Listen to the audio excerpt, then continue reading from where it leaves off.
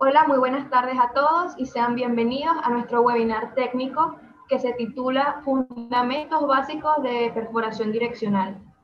Este webinar va a ser dado por un ingeniero que ha trabajado como, como direccional en las empresas Halliburton y también Schlumberger. También ha sido ingeniero de lodos en empresas como Proambiente, Lovenca y Scumi Oil Tools. Actualmente se desempeña como un freelance drilling consultant con 11 años de experiencia en el campo y es el creador del blog y de las cuentas en las redes sociales de Perforador 2.0. Queremos darle la bienvenida al ingeniero Juan Gómez, que es el que nos va a estar dando esta fabulosa charla para que ustedes los aprovechen y tomen nota de todos los conocimientos que, que nos, nos va a estar compartiendo hoy en día. Bienvenido, Juan. Hola, María Patricia, ¿qué tal? Un gusto saludarte. Eh, igualmente extiendo mi saludo a todos los asistentes al webinar. Eh, antes, que, antes de entrar en materia, quiero agradecer a la SPI Easter Venezuela por brindarme este espacio para poder participar en este tipo de actividades. Y de paso les hago un anuncio. Estén atentos a nuestras redes sociales porque en, en el futuro próximo estaré dictando otras charlas sobre otros tópicos de interés con el auspicio de la seccional SPI Easter Venezuela. Así es, todos estén atentos a nuestras redes sociales y también con este video que le vamos a mostrar ahora queremos darle a conocer algunos de los beneficios que es pertenecer a la SPI.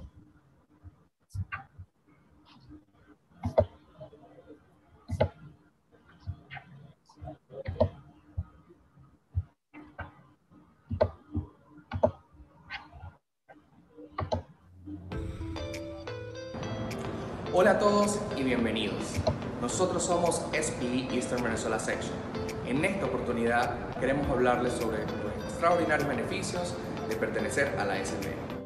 La SP es una sociedad de ingenieros que te brindará las herramientas necesarias para crecer profesionalmente y potenciar tus conocimientos técnicos a través de nuestros distintos cursos, charlas, webinars y diferentes competencias destinadas al desarrollo de tus soft skills y conocimientos técnicos en la industria del petróleo y gas. Otro de los extraordinarios beneficios es la oportunidad de hacer conexiones locales e internacionales. El networking entre todos los estudiantes y profesionales alrededor del mundo, pudiendo así permitir el intercambio de ideas, conocimientos y experiencias. Uno de los beneficios de la SPE es aportar herramientas educativas como OnePetro, PetroWiki y SPE Online Education para el desarrollo educativo de estudiantes y profesionales. Con el programa eMentoring podrás encontrar un mentor que guíe tus pasos a un mejor desarrollo profesional en el caso de los estudiantes y de los Young Professionals. Como senior profesional, tendrá la oportunidad de ser mentor de jóvenes profesionales y brindar consejos y herramientas para su desarrollo. Además, con los artículos en JPT y de Way Ahead podrás mantenerte al tanto de las últimas tendencias tecnológicas y noticias de la industria petrolera. La SPE cuenta con una bolsa de trabajo donde sus miembros pueden publicar sus currículums y buscar puestos de trabajo disponibles sin costo adicional. Además, las empresas pueden publicar sus puestos de trabajo disponibles y buscar entre currículums.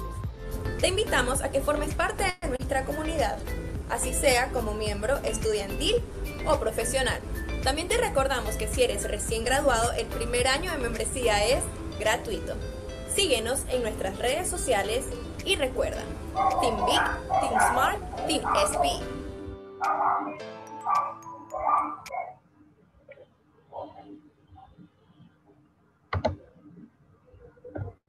Ahora, sin más preámbulo, le damos la palabra al ingeniero Juan para que nos explique todo lo que tiene que, que dar acerca la direccional. Muchas gracias, María. Espero me cedas el control. Denme unos minutos para compartir la, mi pantalla de mi computador.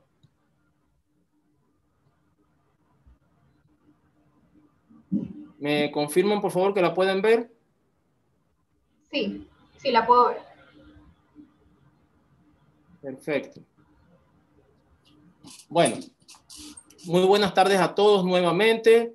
Eh, sean cordialmente invitados a este webinar que he denominado Fundamentos Básicos de Perforación Direccional. Eh, este webinar lo he estructurado en cinco secciones.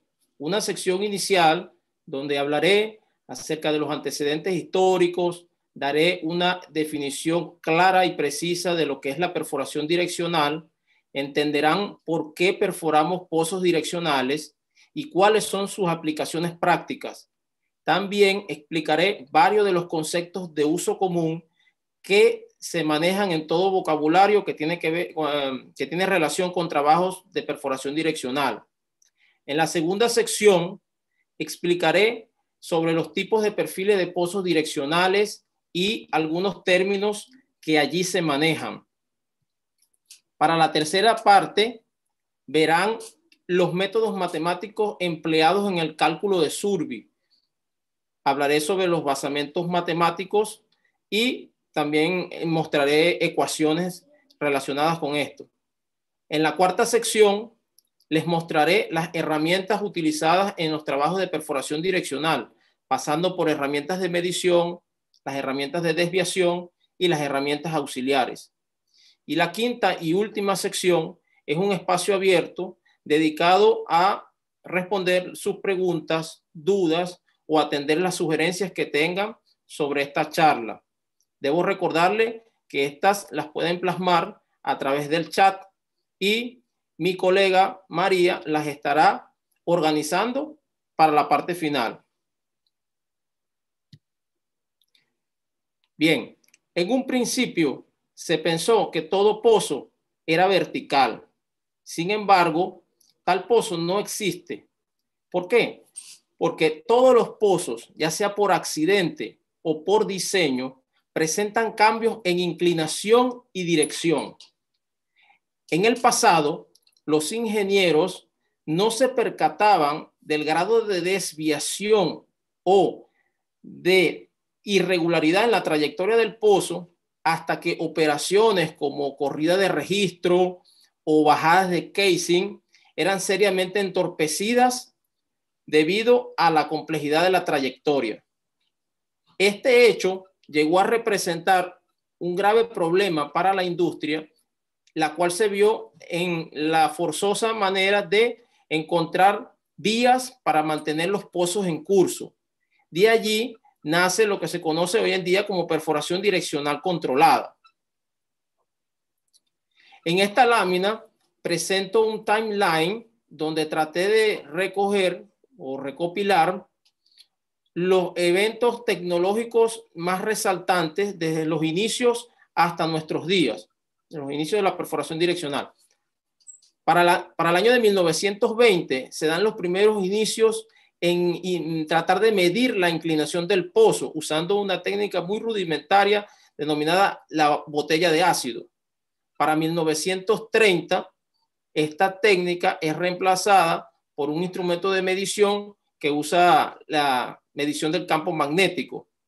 Para 1960 se introduce el motor de fondo y el benzop. Para 1970, este motor de fondo es orientado a través de una herramienta con wire.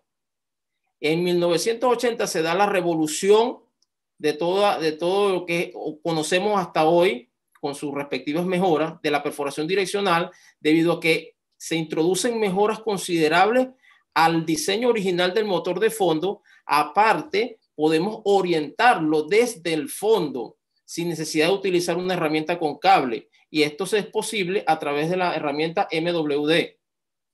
Para 1990 entra la competencia entre las varias empresas de servicio en tratar de introducir motores, eh, sistemas rotativos orientados, denominado Rotary Stable System. Para la década, para el año 2000, ya entonces se abre una nueva vertiente en, en la entre los servicios que ofrece la perforación direccional, denominado geosteering o geonavegación o well placement.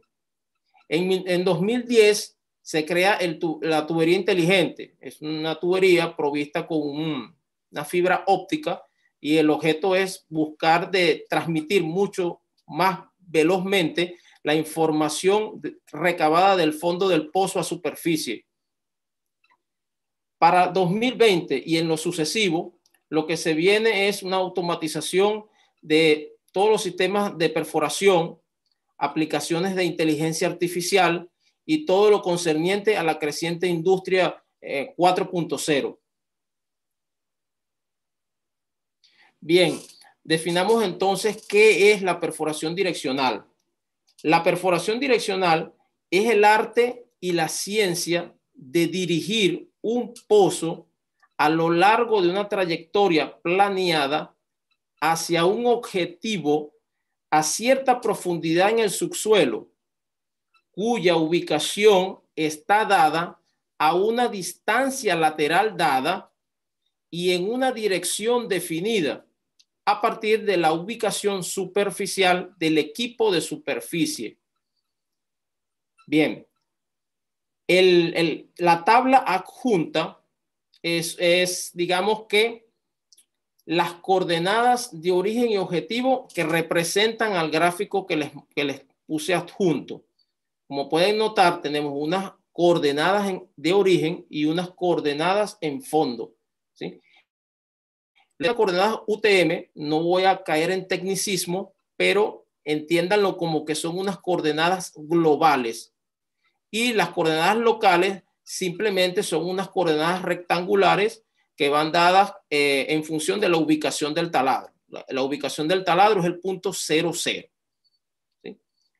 Entonces, si quisiéramos representar la trayectoria de ese pozo que está adjunto, la veríamos en dos, en dos partes, una vista vertical y una vista horizontal que también se le denomina vista de planta o vista de águila. Así es comúnmente eh, como nosotros representamos los, las trayectorias de los pozos. Bien, llegamos a esta gran pregunta. ¿Por qué perforamos pozos direccionales? Bueno, existen varias razones por las cuales perforamos un pozo direccional. Yo he agrupado esas condiciones en tres categorías. Condiciones de superficie, condiciones de subsuelo y necesidades especiales. En las condiciones de superficie, priva el hecho de que, por ejemplo, hayan obstáculos que impidan la posición o ubicación del equipo de perforación o del pozo. También puede darse el hecho de que hayan restricciones de tipo legal o ambiental o simplemente que no se pueda hacer una trayectoria direccional por aspectos económicos. En cuanto a las condiciones de subsuelo, pues bueno, está el hecho de que se necesite evitar colisión con otros pozos o que geología necesite atravesar múltiples objetivos. Está el hecho de que necesitemos recuperar eh, pozos viejos a través de la técnica de reentrada o sencillamente hayan condiciones geológicas. Más adelante voy a poner unos ejemplos de esto. Eh, también se aplica perforación direccional para el control de los pozos mediante la perforación de pozos de alivio, si es necesario y también puede deberse a que necesitemos evadir pescados u obstrucciones dejados en el hoyo. En cuanto a las necesidades especiales, tenemos que se debe a la recuperación mejorada. Eh, esto va de la mano específicamente de la construcción de los pozos horizontales en vista de que con, esta, con estos tipos de pozos se amplía el área de drenaje y con ello eh, vamos a obtener un mayor recobro. ¿sí? Y también los aspectos económicos, por supuesto. Ahora les comentaré sobre las aplicaciones prácticas que tiene la perforación direccional. Las he listado en estas 10, en estos 10 bullets. Por cuestiones de tiempo no los voy a enunciar, pero los vamos a tocar cada uno en detalles. La desviación o side tracking. La desviación o side tracking es, es una de las principales técnicas de perforación direccional. Esta resulta de la acción de desviar un pozo para iniciar un hoyo nuevo a partir del hoyo viejo, tal y como lo muestra la figura. Existen básicamente dos razones por las cuales aplicamos esta técnica. Una, evitar un pescado que se ha quedado en el hoyo. O dos, cuando se quiere explorar el alcance de la zona de producción de un determinado sector del campo. Localizaciones inaccesibles.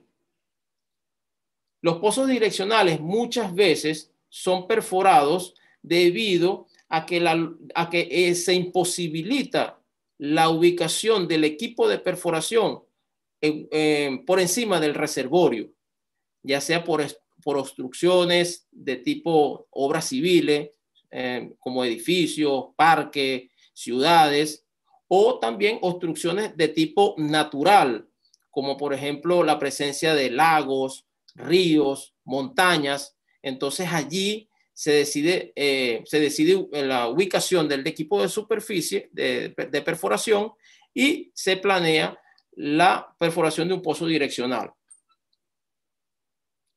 Domos salinos. Los domos de sal son trampas naturales de acumulación de hidrocarburos.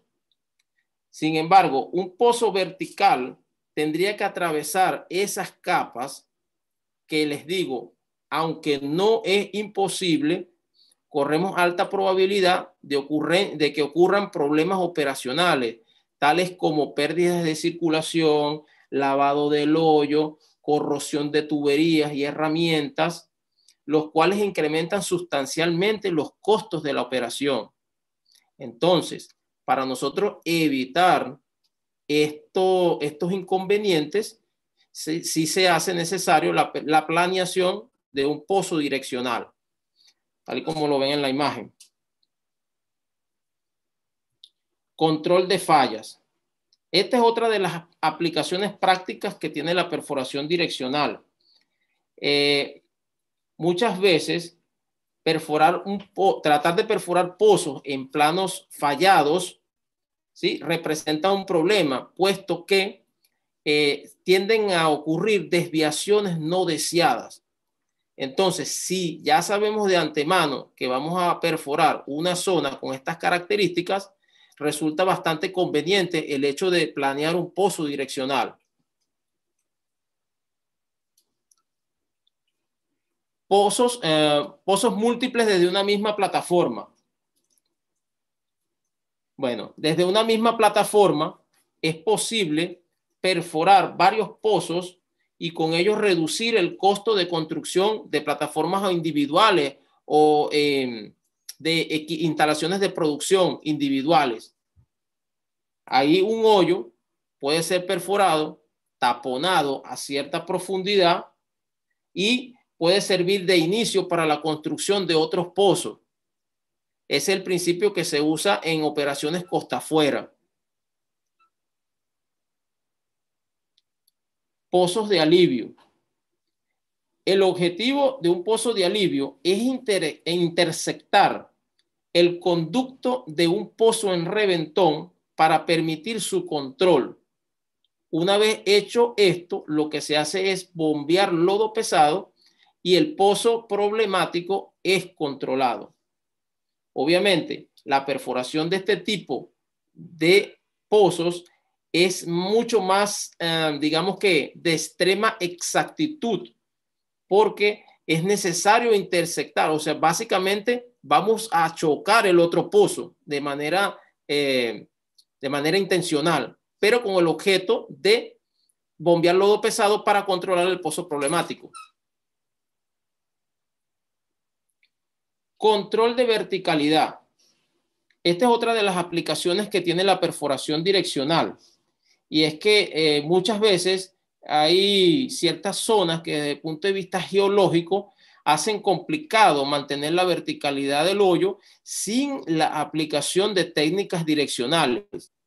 De igual manera, si, si, la, si la compañía operadora se llegase a arriesgar a plantear, a tratar de perforar un pozo direccional y luego hace sus mediciones y ve que tiene una desviación, pues bueno, se tiene eh, para volver a la vertical el, pozo, o tiene que aplicar eh, técnicas de perforación direccional y herramientas para ello. Perforación de yacimientos costa afuera desde localizaciones en tierra. Bueno, aquí les comento que es obvio que que básicamente lo que priva acá es el aspecto económico, ¿sí? Es mucho más rentable ubicar un taladro en tierra, planear un pozo direccional para llegar a un reservorio que está bajo el agua, a instalar una plataforma offshore. Entonces, esta es otra de las aplicaciones que tiene la perforación direccional. Por supuesto, no pueden faltar los pozos horizontales. Los pozos horizontales, como lo ven en la, en la imagen, son divididos en tres categorías de acuerdo al radio de o a la tasa de construcción, digámoslo así. Tenemos radio largo, radio medio y radio corto. Los de radio largo se ubican con tasas de construcción o dogleg severity entre 2 a 6 grados por cada 100 pies. Los radios de curvatura varían de 3000 a 1000 pies. Los de radio medio están en un rango de 6 a 60 grados por cada 100 pies con radios de curvatura entre 700 y 125 pies de radio. Y los de radio corto tienen un dogleg severity mucho más agresivo, que está en un rango de 1.5 grados a 3 por cada pie. Los radios de curvatura en este tipo de pozos van de 40 a 20 pies de radio. Los pozos que son de radio largo y radio medio, digamos que usan herramientas y técnicas direccionales de tipo convencional, pero los pozos de radio corto tienen que utilizar técnicas y herramientas direccionales especiales. Pozos multilaterales y reentrada. Esta es otra de las aplicaciones que tiene la perforación direccional y esta se emplea cuando eh, es necesario perforar varios o atravesar varias arenas productoras desde un mismo pozo, ¿sí? al igual que la, la, la reentrada. La reentrada es básicamente como una especie de side track, pero el, el, objetivo es para recuperar, se hace para recuperar un hoyo que ya está inactivo o un hoyo muy, un pozo muy viejo, porque no es lo mismo perforar un pozo desde el inicio allá tener un tramo ya adelantado. Entonces se aplican estas técnicas para este tipo de fines. Bueno, ahora les voy a explicar todos estos conceptos que aparecen en pantalla. ¿sí? Vamos a abordarlos cada uno de ellos en detalle. Pongan atención, son muchos, son sencillos, pero es necesario para eh, establecer eh, toda esta previa para lo que viene, lo que viene después.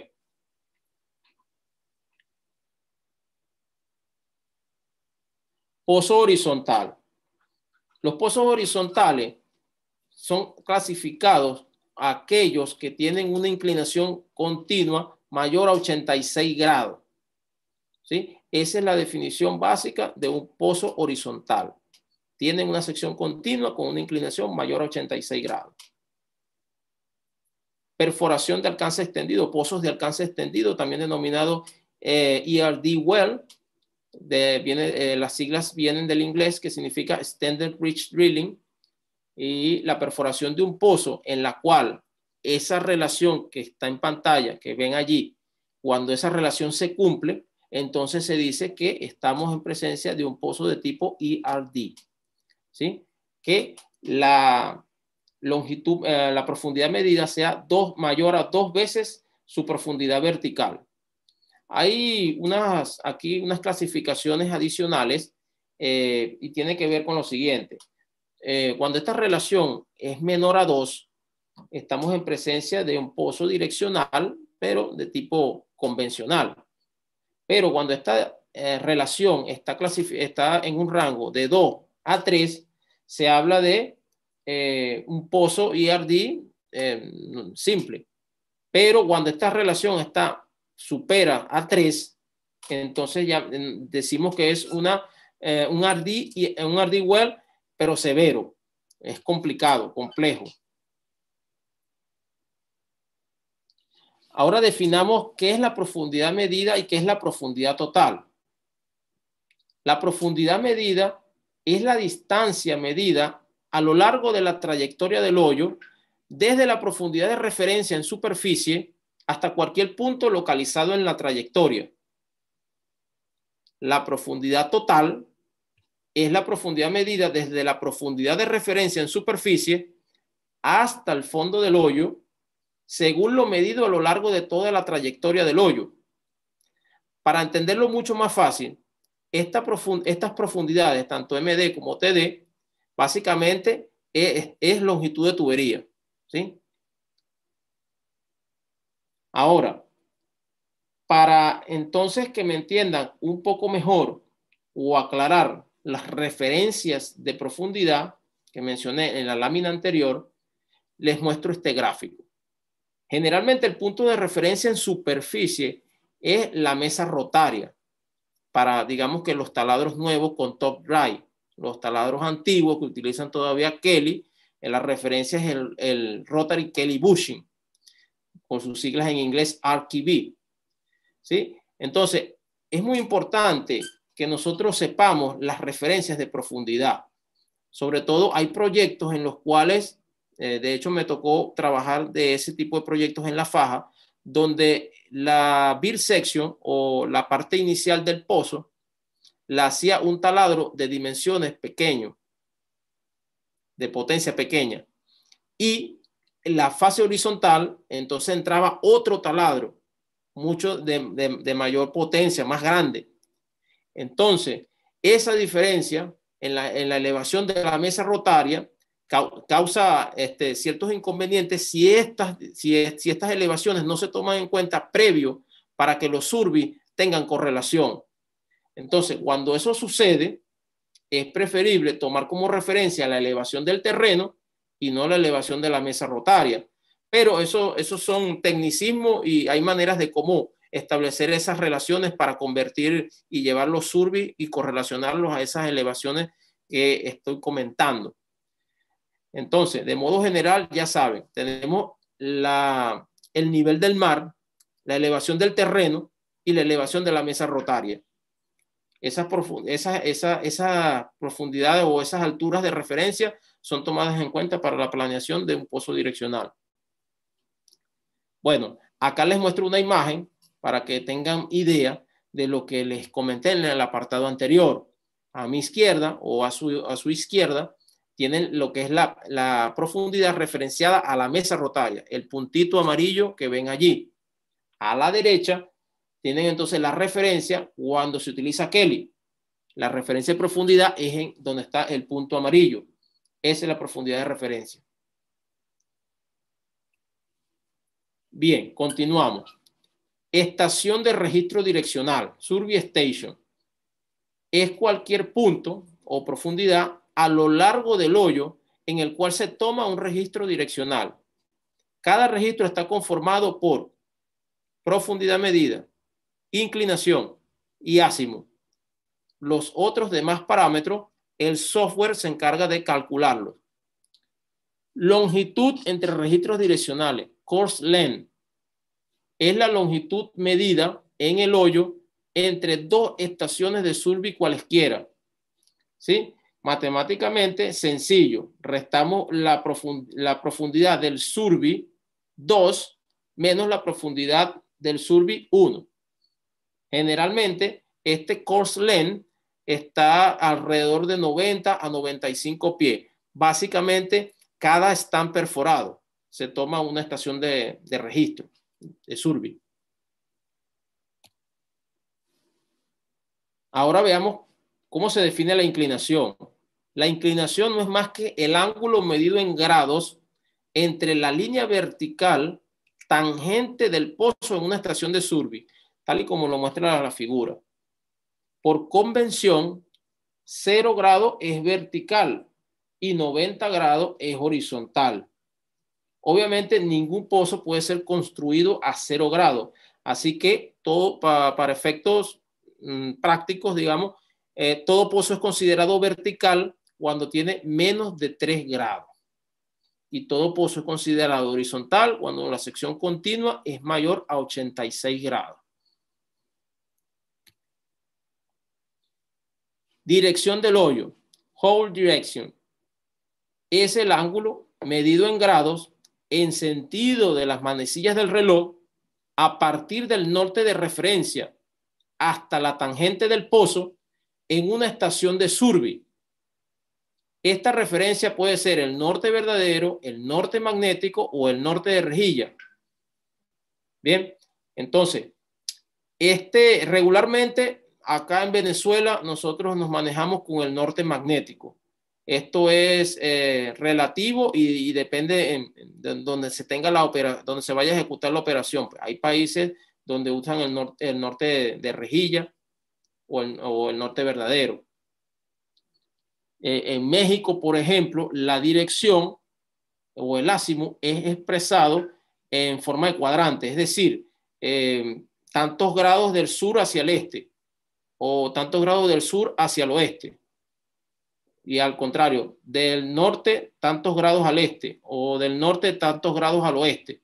Pero es equivalente a decir, pongamos un ejemplo numérico. Eh, por ejemplo, azimut, 120 grados. En, ese caso se podría decir 60 grados del sur hacia el este.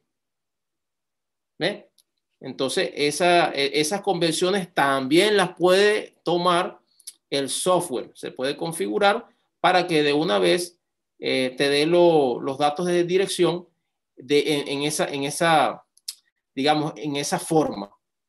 Pero son equivalentes totalmente. Es cuestión de adaptarse y en el país donde se esté trabajando. En Venezuela tenemos como convención que sea directo, como dice el concepto, desde el norte. No hay problema allí pero en otros países se suele utilizar la medida en, cuadrante. Incremento de la profundidad. Incremento de la profundidad TBD. Es la distancia vertical entre dos planos horizontales de survis continuo, tal como lo muestro en la figura. Profundidad vertical verdadera no es más que la sumatoria de todos esos diferenciales de profundidad vertical verdadera calculados de los survis tomados a lo largo de la trayectoria, desde el punto de referencia en superficie, I igual a 1, hasta el punto de interés I igual a N. Entonces, el software automáticamente me determina esas diferenciales entre una estación y otra y me suma a la TBD anterior. Así obtengo la TBD del survey que estoy, que, eh, del último survey que ingresé. Y eso, eh, eso lo hace el software eh, de manera automática. Pero básicamente lo que hace el, los modelos matemáticos para surveys, lo que hacen es eso, calcular las diferenciales de TBD. Y luego el software lo que hace es sumar todas las diferenciales de TBD al punto de, desde, desde el origen hasta el punto en referencia que nosotros necesitamos el dato. Otro concepto de uso común, latitud o norte-sur, departure este-oeste. La latitud no es más que la distancia horizontal del pozo moviéndose desde el survey original en una dirección norte-sur. Y el departure es la distancia horizontal del pozo moviéndose desde el survey original en una dirección este-oeste. Por convención de signo, todo lo que, si tengo una latitud positiva, entonces está hacia el norte. Si es negativa, está hacia el sur. Si tengo un departure positivo, está hacia el este. Y si tengo un departure negativo, estaría hacia el oeste.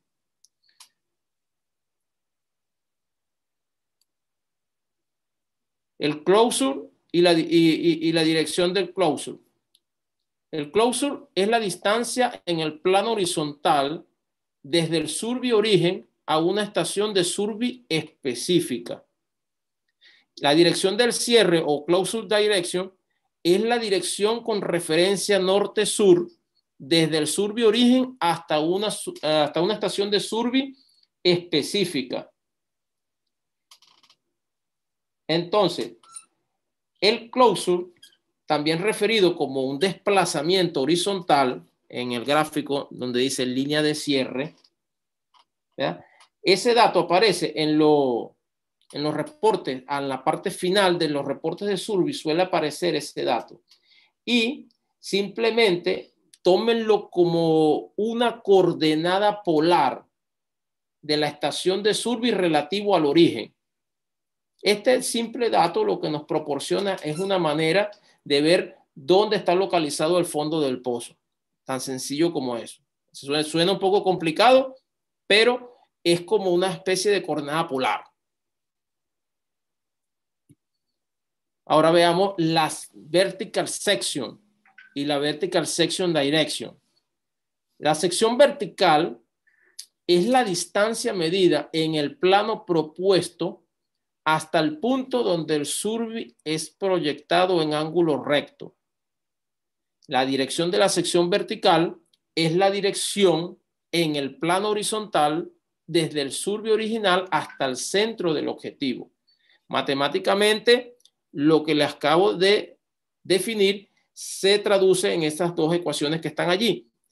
Ahora, para entenderlo un poquito más, eh, más fácil, la línea roja es el desplazamiento horizontal.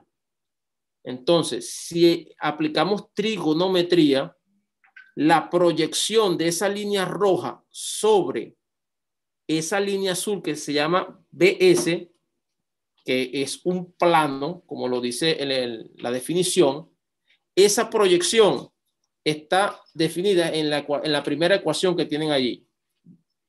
Desplazamiento horizontal por el coseno de la dirección de la, de la vertical section direction menos la dirección del closure, como la vimos anteriormente la dirección de cierre.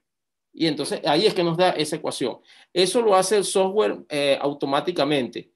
Y esto es por el hecho de que cuando vamos a representar la trayectoria de los pozos en papel, no podemos hacerlo, o, o sea, o lo vamos a hacer como les dije en un inicio cuando definimos el concepto de perforación direccional. ¿Se recuerdan? Que le puse una vista vertical y una vista horizontal o vista de águila. Entonces, en la vista vertical, básicamente lo que se grafica es vertical section contra TBD. O mejor dicho, perdón, TBD contra vertical section. Eso me, eso me daría la vista vertical. La vista horizontal se grafica la latitud contra el departure. Entonces, con esos dos gráficos, yo entonces puedo en papel tener una, una idea de cómo va la trayectoria de, un pozo direccional o de cualquier pozo. Sigamos con los conceptos fundamentales. Pata de, la, fulana pata de perro, dog leg. Es, dog leg es una medida de la cantidad de cambio en inclinación y dirección entre dos puntos. Es expresada en grados. Y el dog leg severity es una medida de la cantidad de cambio en inclinación y dirección, pero normalizada por unidad de longitud. Es expresada en grados por cada 100 pies, grados por cada 30 metros o grados por cada 10 metros. El término dog leg es referido a qué tan torcido o desviado está el agujero del pozo similar a la pata posterior de un perro. De allí proviene su nombre. Es muy importante entender que en las conversaciones diarias estos términos son usualmente mal empleados. Cuando el personal de taladro usa el término dog leg, ellos generalmente se refieren a dog leg severity. Muchas de las fórmulas usan dog leg o dog leg severity. De allí que es extremadamente eh, fundamental conocer en qué se diferencian estos términos. Sin embargo, vuelvo y repito, nosotros no hacemos nada manual, todo eso lo hace el software, pero es bueno saber de dónde vienen las cosas. Tasa de construcción, build rate o tasa de caída, drop off rate es una medida de la cantidad de cambio, pero solo inclinación, normalizada por unidad de longitud. Al igual que el doble severity, es expresada en grados por cada 100 pies, grados por cada 30 metros o grados por cada 10 metros. Para el caso de un valor positivo, hablaremos entonces de un build-up rate, una tasa de construcción que incrementa el ángulo, la inclinación. Para el caso de un valor negativo, hablaremos de un drop-off rate o una tasa de construcción donde la inclinación se disminuyó. Matemáticamente, lo podemos calcular a partir de las relaciones que muestro en pantalla. Simplemente veo cuál fue la, eh, tasa de cambio entre dos surbis de referencia y lo divido entre ese intervalo de estudio. Si lo quiero representar en función de 100 metros, lo multiplico por 100, si es en 30 metros por 30, si es en 10 metros por 10. Tasa de giro o turn rate es una medida de la cantidad de cambio solo en dirección, normalizada por unidad de longitud. Es expresada grados por cada 100 metros, por cada 100 pies, perdón, grados por cada 30 metros o grados por cada 10 metros. Un valor positivo indicará un giro a la derecha. Un valor negativo indicará un giro a la izquierda. Al igual que en el caso anterior, podemos aplicar estas simples relaciones matemáticas donde en el numerador calculamos el cambio de dirección y eh, entre dos estaciones de referencia y lo dividimos en, entre el intervalo de estudio. Otro detallito aquí es que eh, tanto el pillar rate o drop off rate y el turn rate son parámetros que son empleados en reportes eh, como KPI para medir el desempeño del BHA. Ahora, en modo rotacional, sin influencia de deslizamiento, o sea, sin influencia de un control direccional inducido, eh, nosotros este parámetro de turn rate se le suele llamar bit walk. Y esto es eh, eh, como, de forma natural el pozo gira hacia un sentido, ya sea derecha o izquierda, por influencia de ya sea el tipo, eh, está involucrado el tipo de broca o mecha, el diseño del ensamblaje de fondo, el peso sobre la mecha, las RPM y obviamente el tipo de formación. Tortuosidad. Es una medida de la desviación de la línea recta. Matemáticamente, es la relación o cociente entre una distancia real, considerando las curvas, a una distancia ideal, la línea recta, tal y como lo muestra la figura. Ahora, aplicando esa definición, pero a pozos desviados, se define como la cantidad en que la trayectoria real del pozo se desvía de la trayectoria prevista. Según el paper 23.850 de la SPI, la tortuosidad para los pozos direccionales está definida por esa relación matemática. Si ustedes analizan esa ecuación, básicamente lo que traduce es que el promedio de los excesos de los dogleg sobre el plan, los dogleg reales sobre los dogleg planeados, ¿sí? es lo que nos define la tortuosidad, ese exceso. Índice de dificultad direccional o Directional Difficulty Index, DDI este es un valor que indica la dificultad relativa que puede ser encontrada al perforar un pozo direccional. Matemáticamente está expresado en la siguiente fórmula. Este dato también, al igual que el de tortuosidad, esos datos aparecen en la parte final, en el reporte, en todo reporte de Survey. ¿sí? Para que tengan una idea de la complejidad de los pozos direccionales, se utiliza este parámetro DDI. Si el DDI es menor a 6, estamos hablando de pozos relativamente cortos o perfiles simples con baja tortuosidad. Para DDIs en un rango de 6 a 6.4, tenemos pozos cortos con alta tortuosidad o pozos más largos con baja tortuosidad. Para DDI entre 6.4 y 6.8, estamos en presencia de pozos más largos con trayectorias relativamente tortuosas. Para DDI mayores de 6.8, tenemos pozos largos con perfiles tortuosos y con alto grado de dificultad. ¿Sí? Si quieren consultar más al respecto sobre este parámetro, pueden hacerlo a través del paper SPI 59196. Bien, a continuación vamos entonces a entrar en la segunda sección de la charla y vamos a ver lo que es los tipos de perfiles de pozos direccionales. Antes vamos entonces a hacer un repaso por los términos que se manejan cuando hablamos sobre trayectorias direccionales. Empezamos con la trayectoria. La trayectoria consiste en el recorrido que realiza el pozo desde el punto de origen en superficie hasta el punto final de la perforación TD. Perfil direccional. Perfil direccional es la descripción de la trayectoria planeada en un plano de dos dimensiones. Objetivo.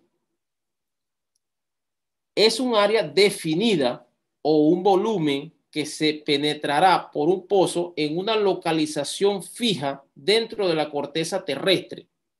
Ahí tomamos en consideración el, tamaño, es decir, la tolerancia y la forma circular, rectangular, poligonal y se define también en la inclinación y la dirección de cómo vamos a llegar allí. Eh, bueno, generalmente los objetivos se trazan eh, de forma circular. Se habla de radio, de un radio de 25 pies o un radio de 50 pies. Esa es la tolerancia. No, no he tenido experiencia trabajando en un objetivo que no sea circular, pero debe aplicar lo mismo. Básicamente, el objetivo es son áreas límites que eh, el perforador direccional debe impactar ese objetivo dentro de ese rango. Veamos entonces lo que quiere decir KOP, Kickoff Point. El Kickoff Point es el punto por debajo de la superficie donde el pozo inicia su desviación de la vertical. Sección de incremento de ángulo, build section. Su propósito es incrementar la inclinación hasta un punto donde, eh, o mejor dicho, hasta lograr el ángulo deseado o el objetivo planeado sea alcanzado. Sección tangente. Su propósito es mantener la dirección y la inclinación hasta que el siguiente objetivo sea alcanzado. Sección de caída de ángulo o drop off section.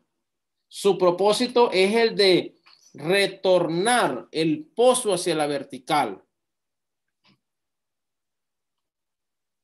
Ahora veamos los tipos de perfiles de pozo direccional.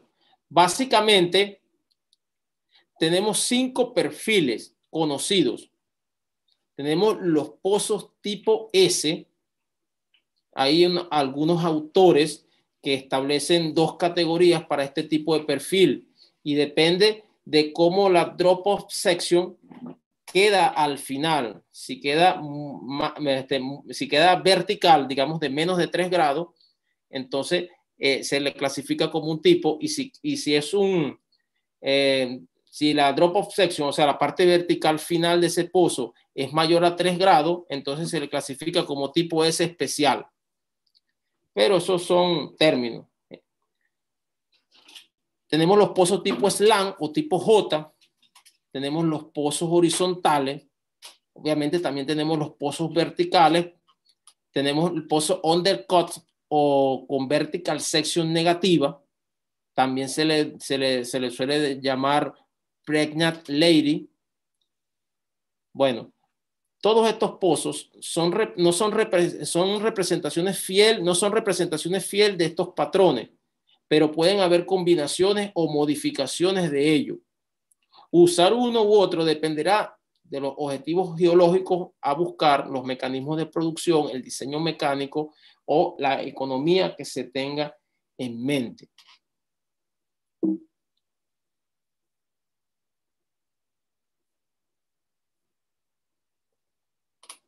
Pozo vertical. Es un pozo que no posee de forma planificada desviación alguna de la vertical. Recuerden, todo pozo vertical, inclinaciones menores a 3 grados. Esa es la, esa es la condición para clasificarlo como vertical. Pozo slant o tipo J.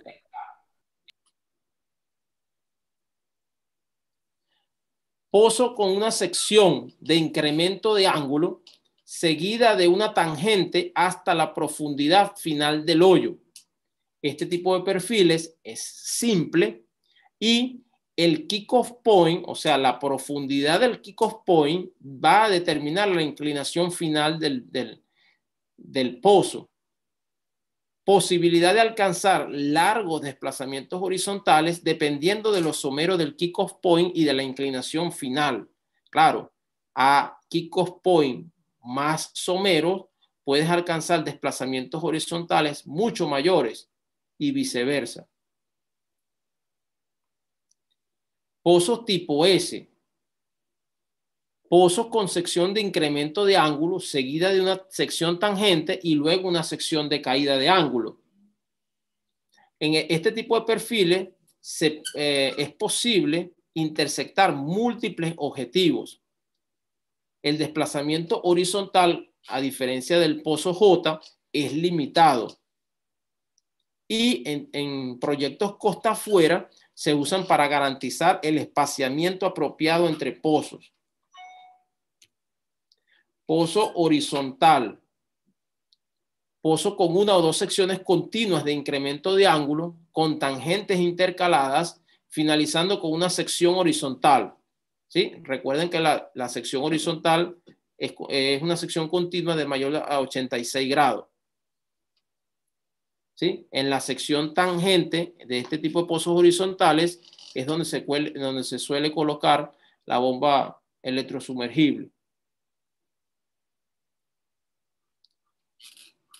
Pozo de sección negativa, también llamado undercut, es un tipo de pozo horizontal con un desplazamiento negativo su objetivo es no haber consumido sección vertical al momento de iniciar la construcción de la fase horizontal del pozo.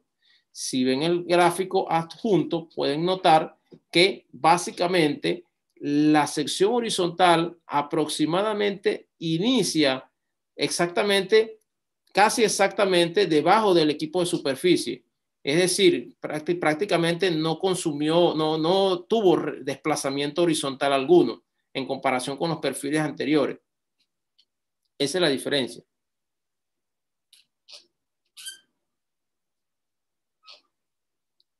Bueno, veamos ahora los métodos matemáticos empleados para los cálculos de Survey. El nivel de conocimiento matemático requerido en perforación direccional es sumamente básico. Sin embargo, se necesita un mínimo de competencia en estas tres ramas de la matemática, álgebra, geometría y trigonometría. Del álgebra vamos a sacar los conocimientos sobre las reglas eh, para despejar y solucionar incógnitas. De la geometría vamos a necesitar saber las propiedades del círculo, perímetro, arco, tangente, radial y proyecciones de línea. Y de la trigonometría vamos a necesitar saber las relaciones entre ángulos, relaciones trigonométricas, teorema de Pitágoras. Con eso es suficiente eh, para poder eh, entender todo lo que concierne a la matemática de perforación direccional.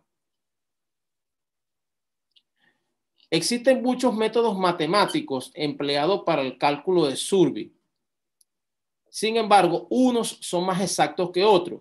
Hay muchos métodos. Yo traté de agrupar los cinco más populares. ¿Sí? El tangencial, el tangencial balanceado, el ángulo promedio, radio de curvatura y mínimo de curvatura. El método tangencial asume que el curso del pozo es tangencial a la estación de medición inferior y el curso del pozo es una línea recta, tal como lo muestra la figura. Entonces, este método, si ponen atención a las ecuaciones, se ven relativamente simples y los cálculos se pudieran realizar en campo de forma manual, sin ninguna complicación. Pero este método es el menos preciso y da lugar a error que eh, da lugar a errores mayores que todos los otros métodos. El método tangencial balanceado trata de hacer una, una corrección al método anterior y lo que intenta hacer es una aproximación más cercana a la trayectoria del pozo utilizando las dos estaciones de Survey. Entonces, su precisión es comparable a la del método del ángulo promedio. Sin embargo, este método no se usa. Las ecuaciones son un poco más complicadas, por lo que no se emplea para realizar eh, cálculos en campo. El método del ángulo promedio. Este método asume que el curso del pozo es tangencial al promedio de la inclinación y del ácido. Ahora consideramos, tomamos en cuenta la dirección. Este método eh, tiene sus limitaciones para cuando estamos en presencia de bajas inclinaciones y grandes cambios en ácido, como por ejemplo pozos verticales. Pero, sin embargo, es bastante preciso y fácil de calcular, por lo que se usa en campo, es fácilmente programable en una calculadora. Yo, de hecho, eh, tengo una calculadora programable HP50G y estas ecuaciones las tengo allí metidas y lo que es, este es el método que uso para realizar mis proyecciones. El error es tan pequeño dentro de la precisión necesaria en el campo, mientras que la distancia entre survey no sea demasiado grande. Este, este es el método que comúnmente los perforadores direccionales usamos para realizar proyecciones el radio de curvatura. Este método supone que el curso del pozo es una curva suave entre las dos estaciones de Survey. Este método simula los Surveys como parte de un cilindro. Como pueden apreciar, las ecuaciones se complican aún más y no es tan fácil de emplear en campo sin el uso de una calculadora programable es considerado uno de los métodos más precisos. El método de curvatura mínima o minimum, uh, minimum curvature también supone que el curso del pozo es una curva suave entre las dos estaciones, pero a diferencia del método anterior, este asume o simula que los surveys forman parte de un arco esférico. Igual que el método anterior, las ecuaciones se complican, se complican aún más, pero este método es el que generalmente por default es utilizado para el cálculo de los survey y es el que usan los software encargados de o que usamos los perforadores direccionales para, eh, para traquear el o para traquear la trayectoria contra la trayectoria planeada, la trayectoria real contra la trayectoria planeada.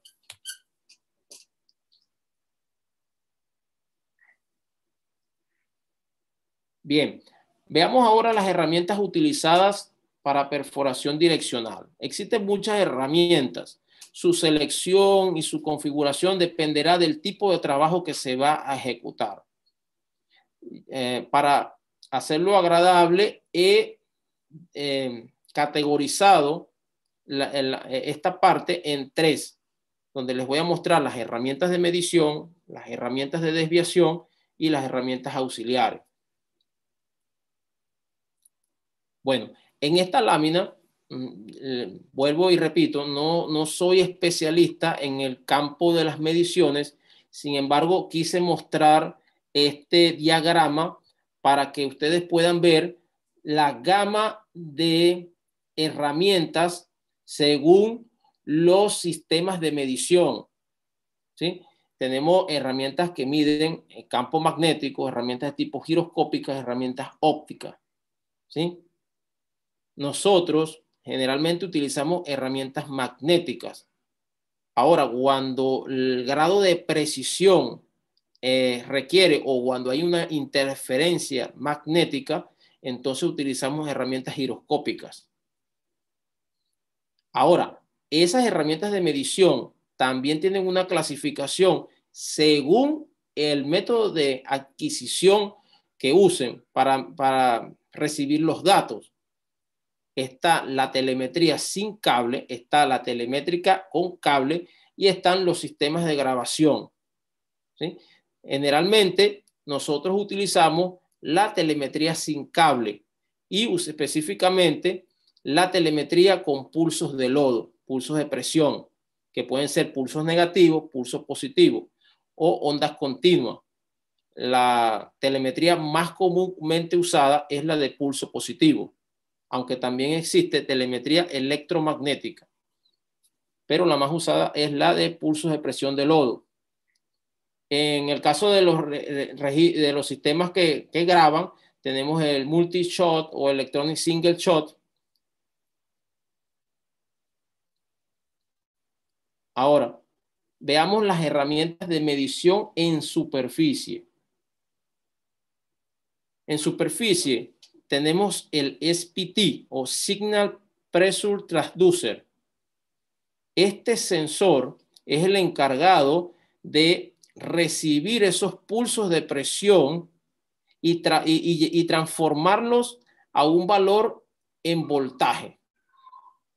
Este voltaje es conducido por cable a la cabina de perforación direccional, donde un software es encargado de demodular esa señal en, y transformarla de un, un lenguaje, digamos, eléctrico a un lenguaje de máquina, en un lenguaje binario, ceros y unos.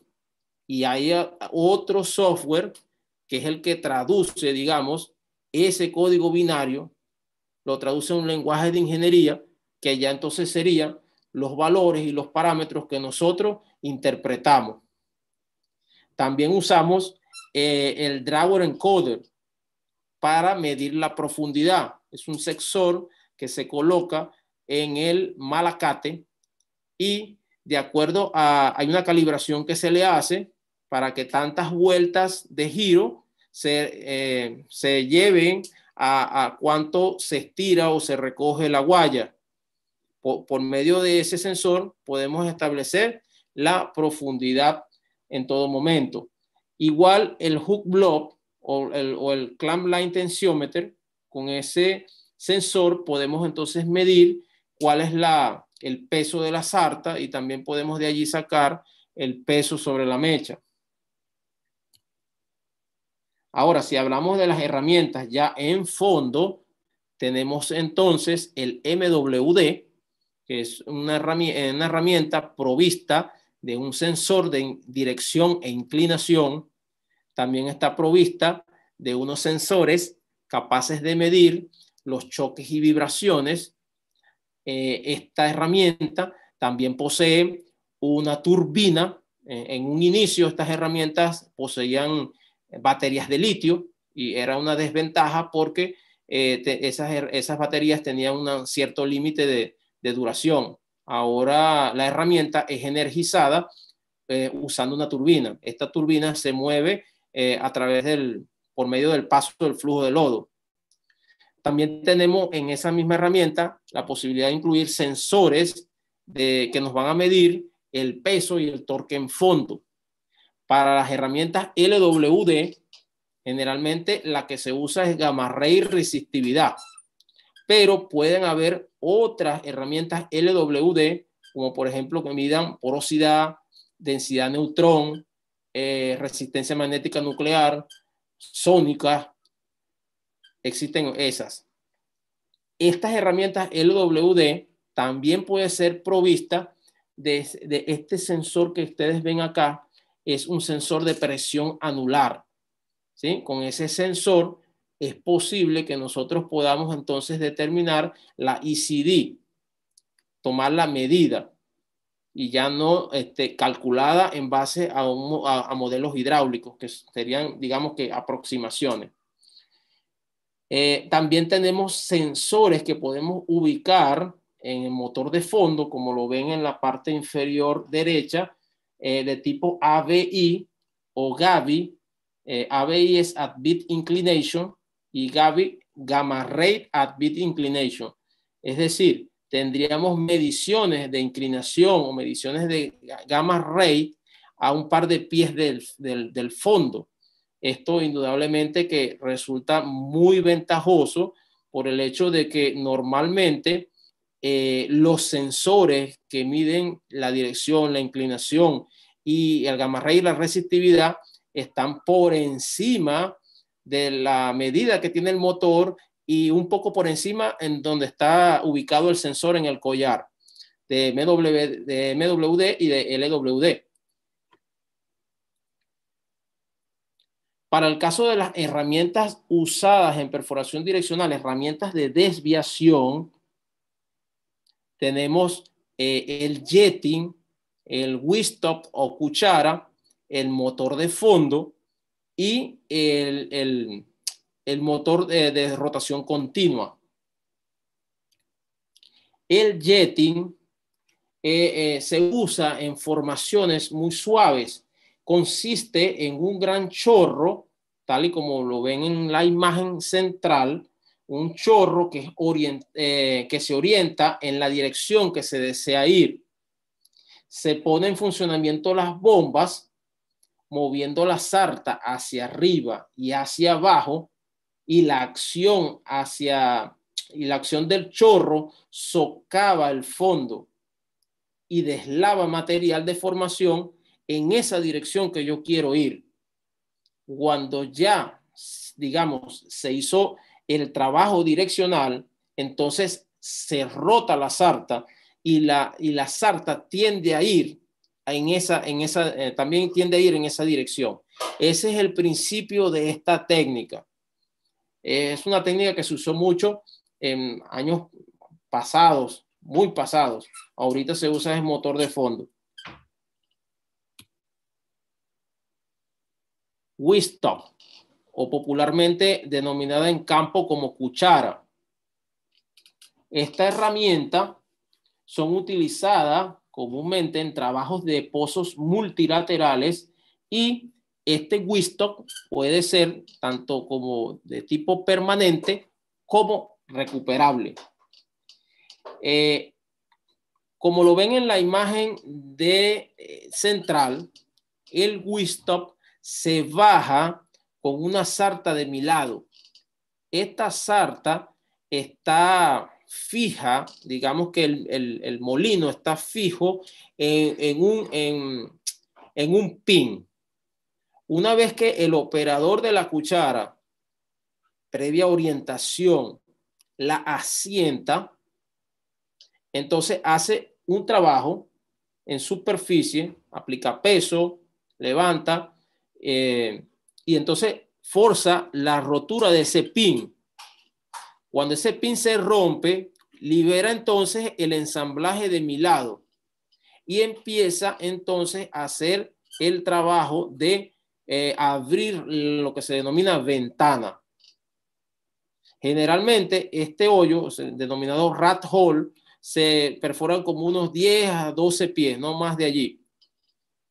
Y el agujero que se crea es como el de la figura de la, tercera imagen, ¿sí?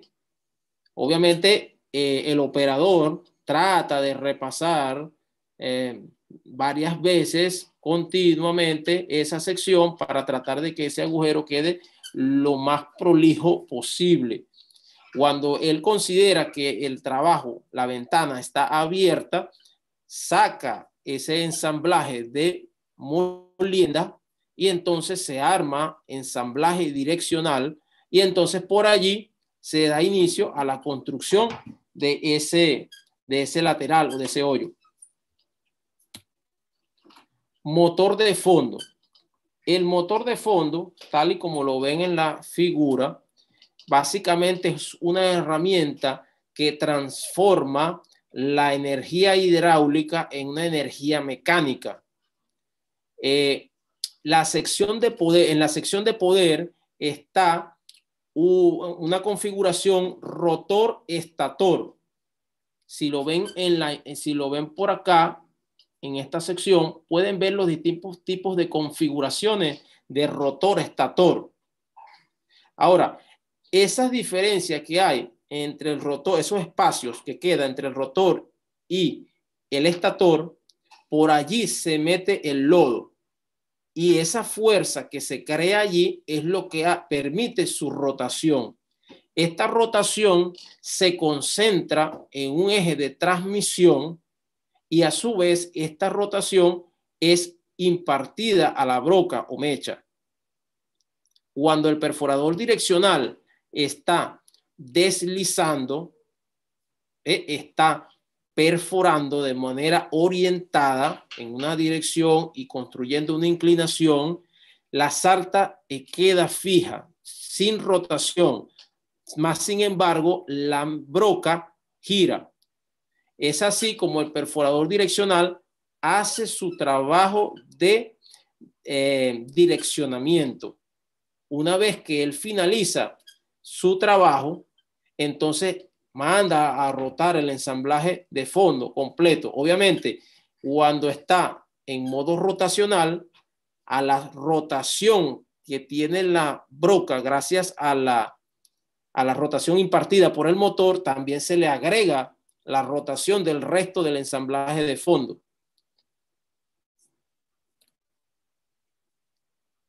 Bueno, veamos ahora, quise mostrar esta lámina para darles otra idea de cómo es el side track con tapón de cemento. Esto no es una herramienta direccional propiamente, más bien es una técnica donde eh, se emplea el motor de fondo con un tapón de cemento para abrir un hoyo nuevo ya sea por, las condiciones que mencionamos en, el inicio, si se dejó un pescado o, simplemente se quiere hacer una exploración para ver eh, la, producción en otra sección del campo. ¿sí? Cuando se usa esta técnica, se, emplea, se, tapona el pozo con a cierta profundidad con tapón de cemento. Entonces, nosotros bajamos con ensamblaje direccional y aplicamos lo que llamábamos un time drilling.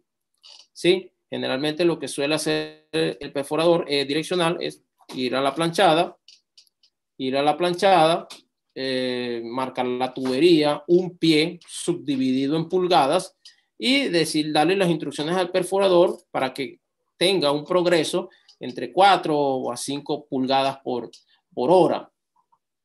Eh, por supuesto, para ello utiliza un bajo peso sobre la mecha y en todo momento se apoya el perforador direccional con la unidad de boot logging para ver cuál es la relación que hay entre la muestra de, en la muestra de canal, la relación que hay entre cemento y formación. Una vez que el perforador direccional observa que hay un porcentaje de cemento un poco mayor al 50%, entonces es posible que éste pueda incrementar ese avance y así sucesivamente hasta que llegue a 100% de formación. Cuando llega a 100% de formación ya puede ir un poco, eh, perforar un poco más rápido. ¿sí? Es así como se trabaja un site tracking con tapón de cemento. Bueno, este, eh, esta, esto es una herramienta de motor de rotación continua. ¿sí? Hay dos tipos de herramientas hay las herramientas que se llaman Push David y las herramientas Point David. Eh, en las herramientas Push David eh, tenemos un pad, hay eh, como una especie de válvula que controla la apertura y cierre de este pad y hay toda una electrónica que, que cuando uno le envía el comando a la herramienta desde superficie, pues bueno, este pad abre y cierra en función de la dirección y la inclinación de queremos donde, eh, que, donde queremos que vaya. Eh, coloquialmente es así el funcionamiento, para no entrar en tecnicismo. Y la diferencia que hay contra el, el motor de Point David es que en este caso no tiene ese pad que abre y cierra, tiene eh, como una articulación que, que, permite la deflexión de la broca, ¿sí? De forma neutral, ella tiene aproximadamente un, digamos que uno, eh, un poquito más arriba, digamos que unos 0.15, 0.2 grados de desviación del centro, eh, pero cuando enviamos el comando a la herramienta, la herramienta deflecta la, la, la mecha, la broca. Y es así como esta herramienta eh, perfora de forma orientada. Cuando no queremos que haga trabajo direccional, simplemente enviamos un comando para que quede de forma neutral. Eh, esta herramienta también es de rotación continua, eh, es el YoPilot. La herramienta a la izquierda es el YoSpan.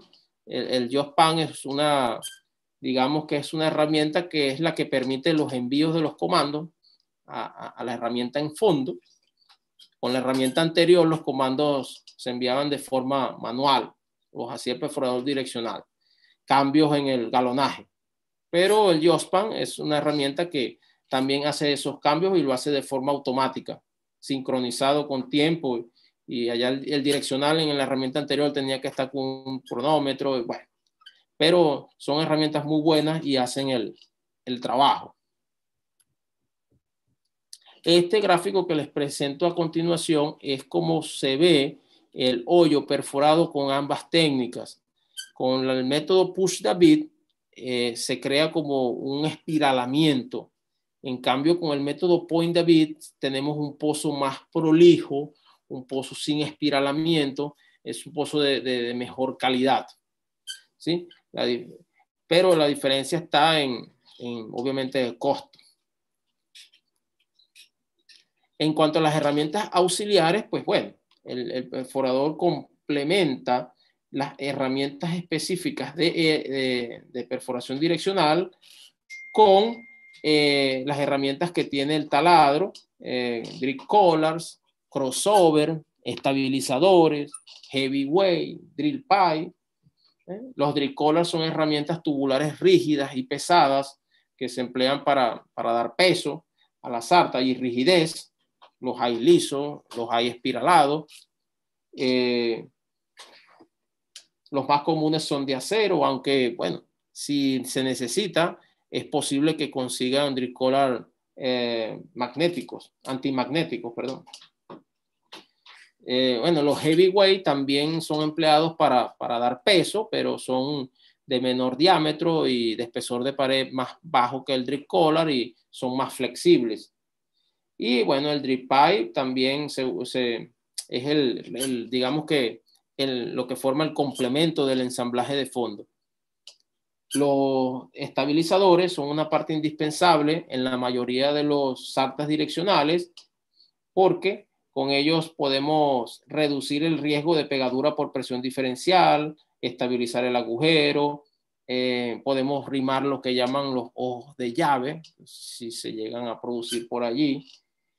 Y bueno, esos esos serían las, herramientas eh, básicamente que complementan todo ensamblaje direccional.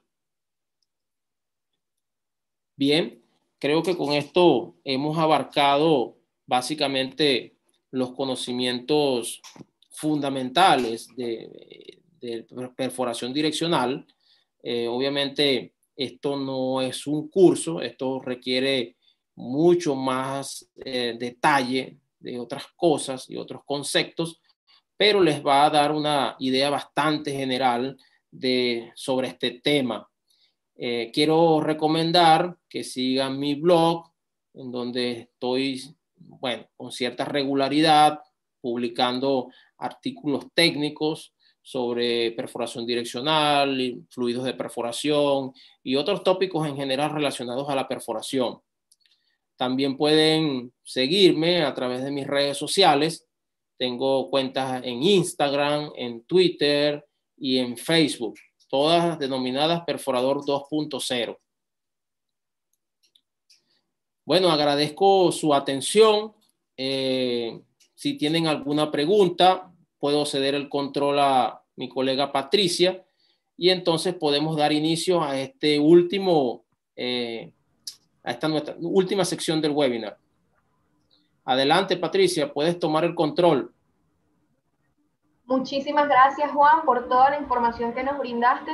Creo que estuvo muy bien sintetizada y algo bastante general y, y conciso de lo que sería la perforación direccional. Espero que todos los asistentes hayan aprovechado este momento y todos tus conocimientos.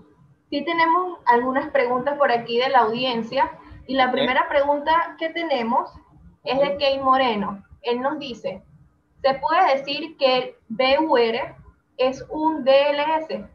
¿Un? BUR es un DLS. D-U-R. B. B-U-R. Ah, D-Loop Rate. Bueno, B. El Dogleg Severity, como lo establecí en la definición, es una tasa de cambio que involucra ambas variables. En el caso del B-Loop Rate, estamos considerando solo una, la inclinación, el cambio de inclinación. Ahí es donde está la diferencia. Cuando hablamos de Dogleg Severity, entonces involucramos las dos variables, inclinación y dirección. Perfecto. Tenemos aquí entonces otra pregunta de Gino Useche que dice, según su experiencia, las ventajas y desventajas entre las herramientas, motor de fondo y sistema, y sistema de direcciones de rotación continua. Déjenme aquí leerla. Sí, sí, ok. En el, eh, ok, aquí la tengo. Según su experiencia, las ventajas y desventajas entre las herramientas, dos puntos motor de fondo y sistema direccional de rotación continua? Sí, bueno, el motor de fondo, eh, digamos que hace un, hoyo no tan prolijo como el método de, los motores de rotación continua. Sin embargo, la diferencia principal radica en el costo. Eh, si la empresa operadora está, eh, digamos que tiene la intención o tiene los recursos para, colocar esta herramienta, pues bueno, tiene que tener bastante, porque esta herramienta es más costosa que un motor de fondo convencional. El motor de fondo es más barato y puede hacer el trabajo. Sin embargo, las calidades de hoyo son diferentes, como lo puedes apreciar en el dibujo. Claro, en el dibujo, en la imagen que mostré en, la presentación, mostré las dos comparativas entre un motor de fondo de rotación continua con el método push David y con el método point David. Sin embargo, con el motor de fondo, o sea, es más espiralado todavía. ¿Sí? Porque es un, en la técnica del motor de fondo tiene una parte de deslizamiento y después luego se rota. Después una parte de deslizamiento y luego después se rota. En el cambio, en el otro método, la, orientación de la trayectoria es mediante, eh, mediante rotación continua. Otra diferencia también considerable es el tiempo de perforabilidad con un motor de rotación continua, digamos que el avance es un poco más rápido. No tanto por el hecho, digamos, que tienes mayores tasas de penetración, digamos que es por lo que esos tiempos invisibles los reduce, ¿sí? En los tiempos de deslizamiento. Muchas veces eh, los perforadores direccionales a veces se nos presenta dificultades a la hora de deslizar, no está tan sencillo orientar el motor o se nos cuelga la sarta. Entonces, todo eso involucra tiempo, tiempo de perforación y esos tiempos se traducen en costo. Con la herramienta de rotación continua, eh, envías un comando a la herramienta con la instrucción de la dónde quieres que haga la construcción de tanto de dirección como de inclinación y hace el trabajo y rota y perforas y avanza.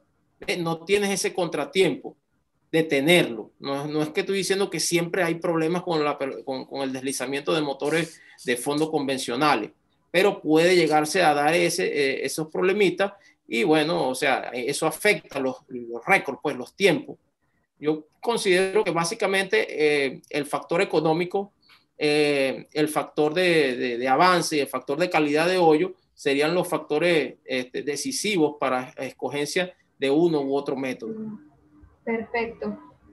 Muy interesante esa, esa pregunta y, su respuesta. Aquí tenemos otra de Edgar Almazán.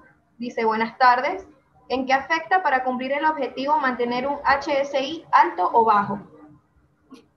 Mira, eh, te puedo decir, el HSI es la, la, potencia hidráulica en fondo, de la, o sea, la fuerza de impacto que ofrecen los chorros de la mecha, entonces, eh, que en el fondo. Entonces, esa fuerza de impacto tiende a socavar el fondo y ayuda muchas veces a que, como te digo, se acelere aún más la perforación, sobre todo en formaciones blandas. Sin embargo, eh, se debe cuidar este HSI de acuerdo al tipo de trayectoria, o sea, el tipo de pozo que vas a hacer. Por ejemplo, aquí en Venezuela, en la faja del Orinoco, tenemos formaciones muy suaves.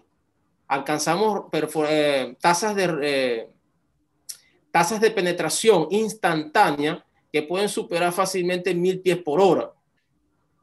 Entonces, un HSI muy elevado en este tipo de, pozos, en esta zona, entonces es contraproducente por el hecho de que te ayuda a lavar el hoyo y entonces se hace más complicado que podamos mantener la inclinación.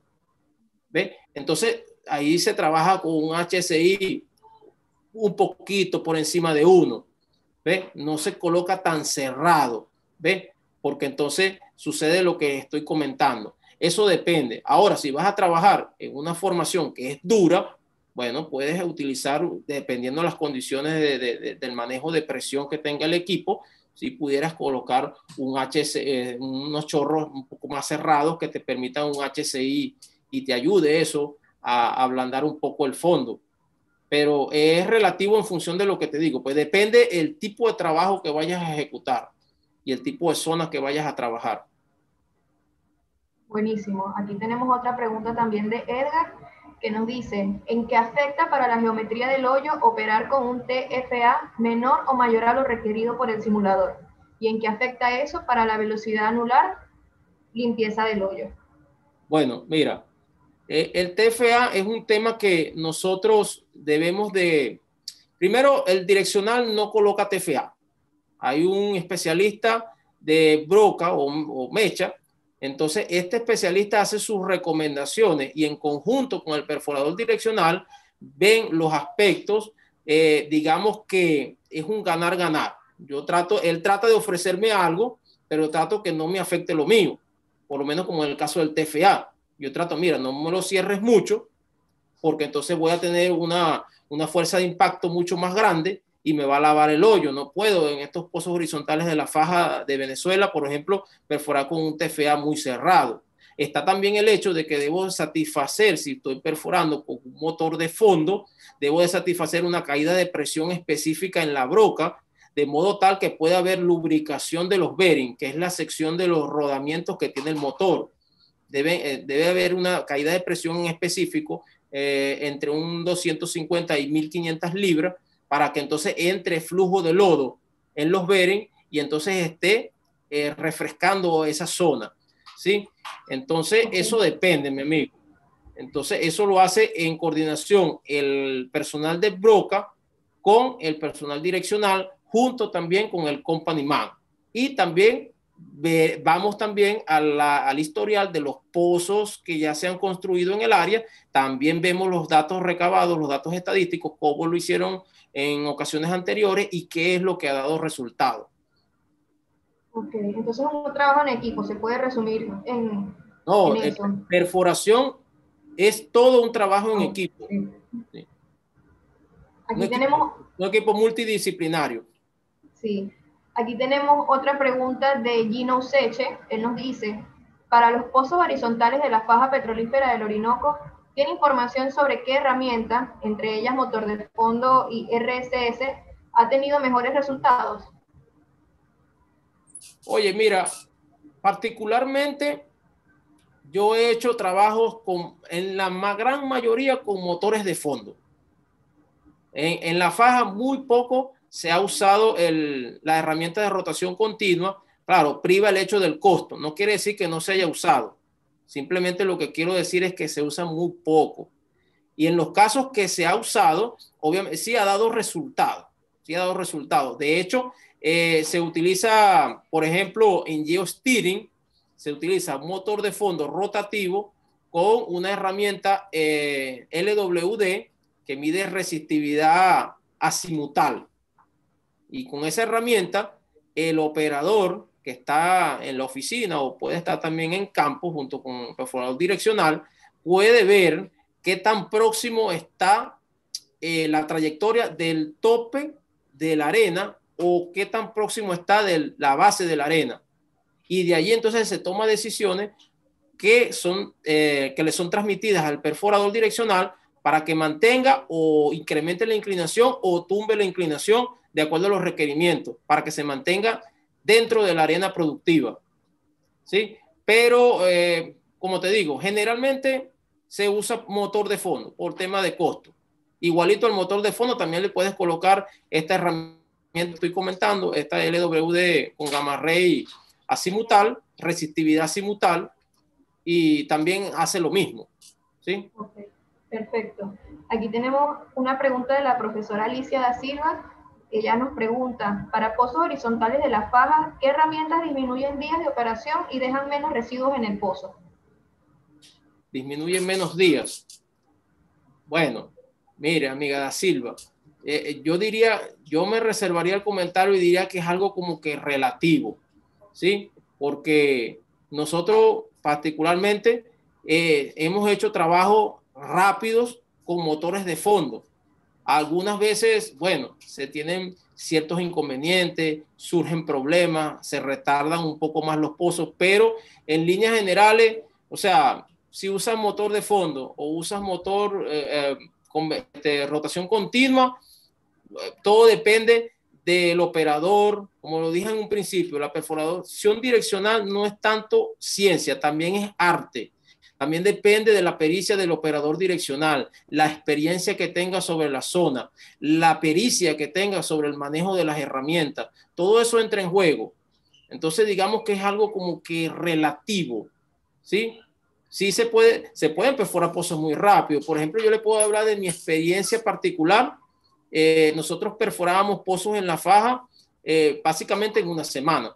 Pozos horizontales con una sección horizontal de unos 4.000, 4.500 pies de sección horizontal. Y era rápido. Ah, pero en ese momento, te estoy hablando en entre el 2008 al 2011, las empresas, la empresa operadora tenía todas las empresas contratistas en sitio. La que no estaba operando estaba stand-by, esperando su turno para hacer su parte. Todo estaba allí. Terminaba uno y otro empezaba. Y, sí, pues teníamos buenos récords de perforación en ese entonces. Buenísimos, diría yo.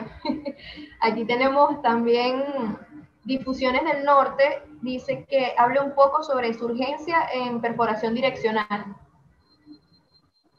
Bueno, el tema de arremetida eh, es un tema que está latente, ¿sí? Todos eh, los involucrados en operaciones de perforación recibimos un adiestramiento en, estos temas de control de pozo. Claro, no a modo de ejecución ni modo supervisorio, simplemente un modo informativo, ¿sí? Porque no estamos autorizados para este, ejecutar las labores de matado de pozo. ¿ve? Entonces, para el caso de los pozos inclinados, eh, hay pues una hoja de matar, ¿sí? Que es vista eh, o diferencia un poco de la hoja de matar de pozos verticales, ¿sí? Por el tema de que entra alusión lo que es la TBD, que es muy diferente, o sea, TBD a AMD es casi parecida en cuanto a pozos verticales, pero cuando hablamos de pozos direccionales sí hay una diferencia considerable y esa diferencia debe ser tomada porque las presiones se ven influenciadas por la TBD básicamente. Buenísimo. Entonces, esta fue nuestra última pregunta.